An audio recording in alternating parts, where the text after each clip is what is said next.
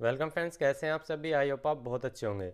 दोस्तों normal amplifier जो है, हमारे कुछ सब्सक्राइबर उसे कर लेते हैं, कोई दिक्कत नहीं आती है। और जो इस तरह के एम्पलीफायर होते हैं बारह वोल्ट से चलने वाले मतलब इस तरह से देखने वाले, आप देख सकते हैं, इस तरह का बोर्ड जो होता है। ये सिस्टम क्या होता है? बारह वोल्ट से चौबीस जी और चौबीस वोल्ट में कन्वर्ट करके जब एम्पलीफायर चला जाता है। तो इसे रिपेयर करने में मतलब हिचकिचाते हैं मतलब प्रॉब्लम में आते हैं कि सर इसे कैसे रिपेयर करें? कमेंट भी आई थी एक दो हम सभी कमेंट रीड करते हैं। आप कमेंट कीजिए, हम उसको रीड कर लेते हैं। आप ये मत समझिए कि सर आपने देखी नहीं, हम सबकी देखते हैं। रिप्लाई करने का लेकिन दोस्तों समय नहीं होता, इतने बंदे हैं, हमें ऑनलाइन क्लास भी लेनी होती है प्लस अपनी दुकान भी है।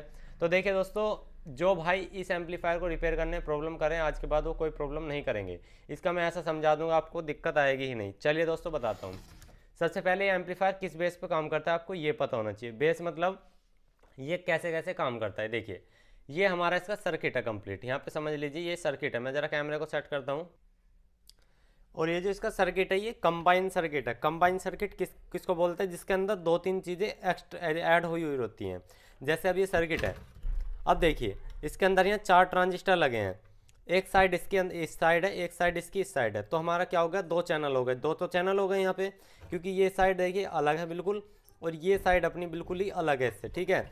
अब इसके अंदर दोस्तों, हमारे यहाँ पे पावर सप्लाई दी हुई है। ये इतना, यहाँ से इतना एरिया लगा लो, और यहाँ से लेकर ये जितना भी एरिया है, ये पावर सप्लाई है। ये जो ट्रांसफार्मर लगा होता है ट्रोएडल इसमें क्या होता है? ज़ीरो छः छः ज़ीरो छः से पैंतालीस ज़ीरो पैंतालीस करने के लिए ये जो ट्रांस मॉसफेट लगाए गए होते हैं एन चैनल के ये यहाँ पे इनको आईसी को आईसी टिकर करा करके नहीं चलाती है। अब मैं आपको बता देता हूँ, देखिए। यहाँ पे इतने एरिया में हमारी सप्लाई है, इतने एरिया में हमारे चैनल है। अब मैं आपको फॉल्ट का बताता हूँ, इसमें फॉल्ट अगर आता है तो आपको कैसे क्लियर करना है, ठीक है? वो एक बात बता देना चाहता हूँ, कुछ कंबाइन बोर्ड ऐसे भी आ रहे हैं जिनके अंदर बेस्टेबल इंक्लूडेड आ रही है, उसके अंदर ही सेट है। लेकिन इसके अंदर देखिए बेस्टेबल सेक्शन जो है वो बिल्कुल अलग से लगाया गया ये देख सकते हो एच बी सतहत्तर बी ये हमारा बिल्कुल अलग से लगाया गया, ये हमारा अलग है सिस्टम मतलब एम्पलीफायर चैनल और हमारा सप्लाई चैनल ये बिल्कुल अलग है। तो कंबाइन वाला आते हैं, उसमें रिपेयर करने में उसमें भी आसान है, क्योंकि देखिए, जैसे मैं अगर इसे उल्टा करता हूँ ना तो देखिए, बहुत सिंपल तरीका है।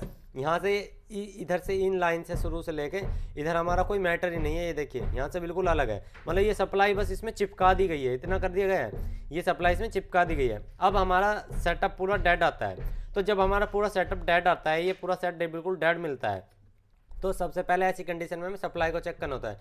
जब भी हम इसमें सप्लाई चेक करते हैं, एक चीज़ हमें बहुत ध्यान रखनी होती है, वो कि जो नए मकैनिक गलती करते हैं, देखिए क्या, यहाँ से इसकी आउटपुट हो गई। यहाँ से ये दो कैपेसिटर है, एक कैपेसिटर। यहाँ पे पहचानने का तरीका है कि आउटपुट और इनपुट कहाँ से है। सिंगल कैपेसिटर है, ज़ीरो बारह और डबल कैपेसिटर है, बारह ज़ीरो बारह मतलब ये बारह ज़ीरो बारह एग्ज़ाम्पल बता रहा हूँ मैं। ये चालीस ज़ीरो चालीस हो सकती है, पच्चीस ज़ीरो पच्चीस भी हो सकती है, बारह ज़ीरो बारह भी हो सकती है, क्योंकि वो डिपेंड करता है आपकी जो सप्लाई बनाई किस बेस पे गई है, कितने वोल्टेज से। तो दो दो कंडेंसर यानी कि आउटपुट तो यहाँ से देखिए, ये तीन ट्रैक आउटपुट के जा रहे हैं। तो यहाँ पे होता क्या है, या तो यहाँ पे फ्यूज़ दिए गए होते हैं। मतलब यहाँ से जब आउटपुट जाएगी ना वोल्टेज या तो यहाँ फ्यूज़ दिए गए होते हैं, या हमारे दोस्तों यहाँ से अपने इस तरह के प्रिंट जोड़े गए। तो ये जो प्रिंट है, हमें हटाना पड़ता है सोल्डिंग को। तो होता क्या है, इनके की सप्लाई जो है ना प्लस और माइनस की सप्लाई वो कट जाती है। ग्राउंड डायरेक्ट रहता है, ये देखिए, इसका माइनस और इसका प्लस एक जगह जा करके ग्राउंड पर चला गया डायरेक्ट यहाँ पे माइनस सप्लाई और यहाँ से प्लस सप्लाई तो ये हमारे डिस्कनेक्ट करने होते हैं। उससे कंफर्म क्या होता है कि फिर हमारी सप्लाई बिल्कुल फ्री हो जाती है। सप्लाई फ्री होने के बाद ही तो हमें पता लगेगा कि सप्लाई फॉल्ट है। अगर आगे शॉर्टिंग होगी ना तो सप्लाई में वोल्टेज जब भी ड्रॉप होंगे तो हम यहाँ से क्या करते हैं, ये कट कर देते हैं। मतलब कट नहीं करते हैं सोल्डिंग को हटा लेते हैं और हमारी आगे सप्लाई जानी बंद हो जाती है तो हमारी सप्लाई चेक कर लेते हैं। तो जब डेड आती है तो हम देख लेते हैं फ्यूज़ जुड़ा हुआ तो नहीं है। उसके बाद में जब हमने यहाँ से प्रिंट हटा लिया ये हमने हटा ली सोल्डिंग, अब हमारी जब भी बंद है सप्लाई, हमने देख लिया इन पर वोल्टेज नहीं आ रही। तो हम क्या करते हैं, ये फ्यूज चेक कर लेंगे। ये एन चैनल के मॉस्पिट है पी पचपन P S C P Z forty four N काफ़ी सारे मॉडल हैं जो लगा सकते हैं। तो ये फ्यूज चेक करने के बाद हम देख लें, फ्यूज ठीक है तो ये मॉस्फिट चेक कर लें। मॉस्फिट डालने के बाद ये हंड्रेड वन परसेंट चल जाता है। फिर भी अगर किसी वजह से एक परसेंट ऐसी दिक्कत आई तो ये आई चेंज हो जाती है। काफ़ी सारी आईसी आप किसी में भी देख कर चला सकते हो, कोई दिक्कत नहीं है। मोस्टली ये मॉसफिट फूक जाते हैं मोस्टली ये मॉसफिट एक नहीं चेंज करना, आपको सारे ही चेंज करने हो अगर आप चेंज करो बेशक आप ये सोच रहे हो कि ठीक है, नहीं, आपको सारे चेंज करने हैं। तो आपकी सप्लाई क्लियर हो जाएगी, तब आपको ये जोड़ने हैं। जोड़ने के बाद अगर आपके करंट ड्रॉप हो रहा है तो आपको देखना है कि दोस्तों इनमें ट्रांजिस्टर में से कोई सा ट्रांजिस्टर शॉर्ट तो नहीं है। ट्रांजिस्टर बिल्कुल सही है, लेकिन फिर भी आउटपुट में हमिंग आ रही है। तो ये जो बी डी एक सौ चालीस लगा होता है, ये बदल लीजिए हंड्रेड वन परसेंट ये ओके हो जाएगा। तो यहाँ तो एम्पलीफायर चैनल ओके करने का बता दें एम्पलीफायर चैनल वही है, जो सब नॉर्मल एम्पलीफायर के अंदर होता है। बस इसके अंदर एक सप्लाई दी गई है और ये हमारा ऑडियो बोर्ड दिया गया है। बस ये होता है। जब हमारी डेड प्रॉब्लम आई तो डेड के लिए सप्लाई चेक करनी होती है।